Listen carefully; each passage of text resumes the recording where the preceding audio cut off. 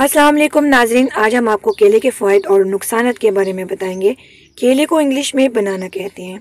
America में इस्तेमाल होने वाले फलों में सबसे ज़्यादा खाया जाने वाला फल केला है। अमेरिकन माल्टे और सेब की नस्बत केले ज़्यादा शौक से खाते हैं। केले का मसलसल इस्तेमाल गज़ाई कमी को दूर करता है। केला खाने से फौरी तोानाई बहाल होती है। विटामिन और मिनरल्स की कमी दूर होती है। केले में ऐसे अज्जा पाए जाते हैं, जो कैंसर के जरासीम को कमज़ोर करते हैं और उनको पैदा होने से रोकते हैं। केला कब्ज़ कुशा भी है। थकावट को दूर भी करता है। केला खाने से दिल की धड़कन मामूल पे रहती है।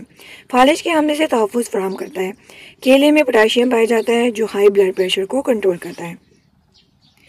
इसके अलावा केले में सेब की नस्बत प्रोटीन चार गुना कार्बोहाइड्रेट्स दो गुना फास्फोरस तीन गुना विटामिन ए पाँच गुना, और इसके अलावा बहुत से विटामिन और मिनरल्स सेब की नस्बत दो गुना ज़्यादा होता है।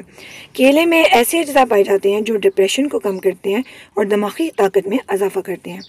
हामला खातन के लिए भी केला बहुत अच्छा है, बहुत मुफीद है। माँ और बच्चा दोनों की सेहत के लिए बेहद ज़रूरी है।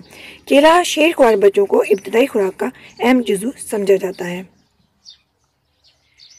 केला बच्चों बड़ों बूढ़ों समेत घर के सभी अफराद के लिए बेहद ज़रूरी है।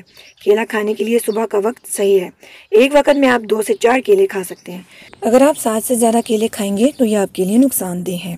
उसकी वजह यह है कि केले में पोटाशियम वाफर मकदार में पाया जाता है।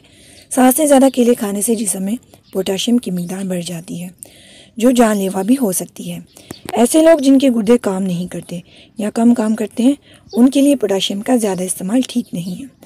रात को केला खाने से परहेज़ करें। एक बरतानवी तहकीक के मुताबिक, अगर औरत को हमल से पहले पोटाशियम की ज़्यादा मकदार खिलाई जाए तो उस औरत के यहाँ बेटा पैदा होने के चांसेस ज़्यादा होते हैं। हमल से पहले रोज़ाना दो केले ज़रूर खाएँ।